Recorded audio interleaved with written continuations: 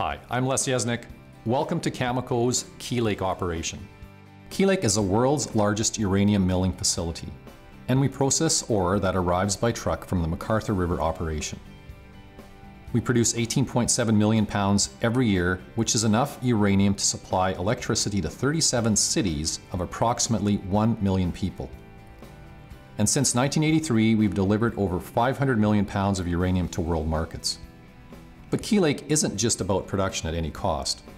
Talk to any of our employees and contractors, and you'll discover that there is only one way to work at Key Lake, and that is safely. We live by the mantra that there's no job so important that we cannot take the time to do it safely. We've spent years developing a strong safety culture and are always looking to reduce injuries. Without that commitment from our people, we wouldn't produce a single pound. Key Lake also makes that commitment to the environment, where we are continually monitoring our performance to not just meet, but exceed regulations. Areas no longer in use are landscaped and revegetated to return them as much as possible to their original state. This is Key Lake. This is how we're making a difference.